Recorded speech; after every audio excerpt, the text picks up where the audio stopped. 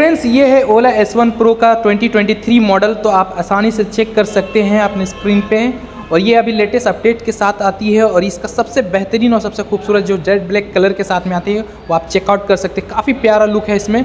आप देख सकते हैं और काफ़ी कुछ एडवांस हुआ है इसमें अगर इसके बारे में डिटेल जाना हो तो हमारे चैनल को सब्सक्राइब करना बिल्कुल भी ना भूलें